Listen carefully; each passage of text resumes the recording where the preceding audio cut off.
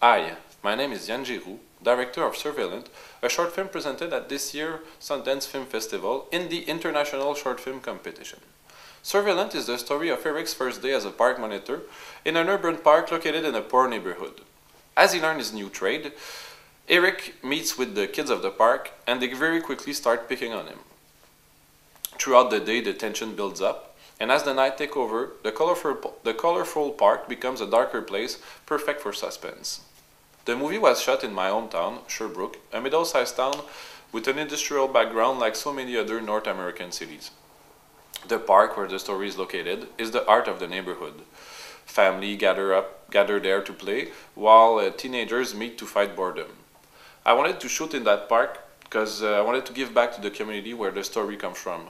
Because I actually worked there as a park monitor when I was younger, and the movie, even though it's not a true story, is inspired by how I felt as a stranger to that neighborhood.